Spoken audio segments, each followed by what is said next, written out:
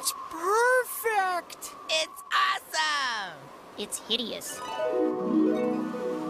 What it needs is my latest invention. I call it the Spoofinator 4000. Now let's fire it up. Birthday happy! All right, he's alive! First, we'll fuse my photon hyponuclear resonator with Sheen's electronic ultralord, thus creating a wormhole in the space-time continuum and propelling him into the future. Or we could just melt him. 70 years later. Poke, poke, Nice going, Grandpa Genius. poke. But aha!